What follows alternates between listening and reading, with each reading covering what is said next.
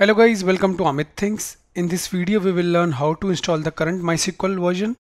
With that, we will install the MySQL server shell as well as Workbench. Let's start. At first, go to the web browser. I am using Chrome, you can use any web browser. On Google, type MySQL and press enter. On pressing enter, the official website is visible, mysql.com, click on it. After clicking mysql.com, you need to go to downloads, click on it. Now go below. Here and click on MySQL community downloads. Now here and click on MySQL installer for Windows. Now the current version is visible for Windows which is MySQL 8.0.34. It automatically selected on its own. No problem and two versions are visible remember that this works for 64 bit as well. It's written 32 bit but it will work for 64 bit as well. So i'll be so i'll be downloading the following one. Not the web one the second one 331 mb click on it to download. Now go below and click no thanks. Just start my download. Download started. Let's wait. We have downloaded it here is the MSI file. Double click on it to install. Minimize.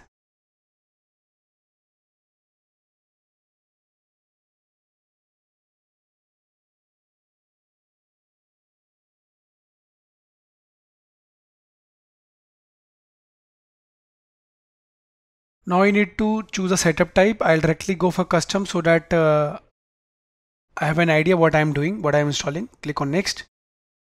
Now you need to select the products, click on MySQL Server, drop down, MySQL 8.0 and here it is. This is what we wanted. Click on the arrow to drag it here. Now go to applications, click on Workbench, do the same for Workbench. These are the ones which we'll be installing. Go for shell. Here it is. Click on here to drag it. Now we have our server workbench in shell. Click on next. The installation started, let's wait.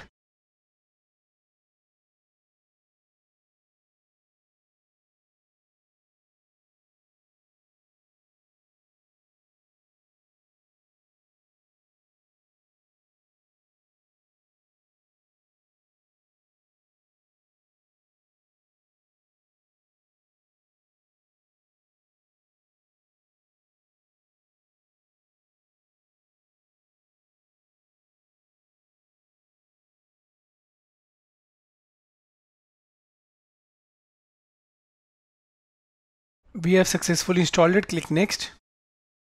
Now product configuration. Click on next. Now type a network and keep it as it is. It is taking 3306 port number no problem. Click next. Authentication method. You can use a strong password or the following legacy basic but the following is recommended so keep it as it is and click next. Here set the root password that is the admin password for your MySQL server you can use any password my password also. Because it is on localhost click next. Windows service fine click next. Server file permissions yes keep the default grant full access click next. Apply configuration click on execute. So one by one all the steps will get executed that's it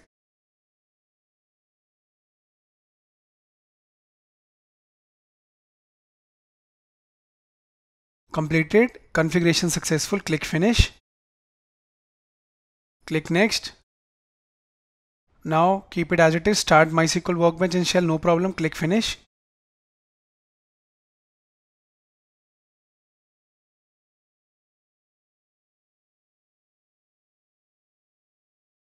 Now we have started the shell and workbench but we need to set the path for that. Go to C drive program files go below. MySQL click on it. Server click on it. Bin click on it and copy this path. Minimize. Go to start. Type environment variables. Remember to go for system environment variables. Click on open. Click environment variables here now under system variables go below. Click on path double click. Click new. Right click and paste the same path. Here it is. Click ok. Ok and the last ok. Now go to start. Type cmd click on open to open the command prompt. Type the command mysql space hyphen hyphen version and press enter you can see we successfully installed the current version. Now type mysql space hyphen u space root hyphen p. Herein u is for user remember it was root and p is for password. Press enter enter the same password. Press enter. We successfully installed mysql.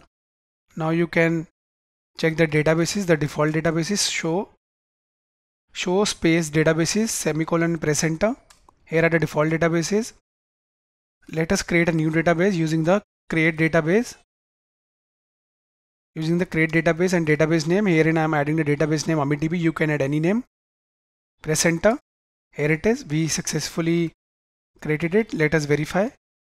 Show databases semicolon and press enter. Here it is.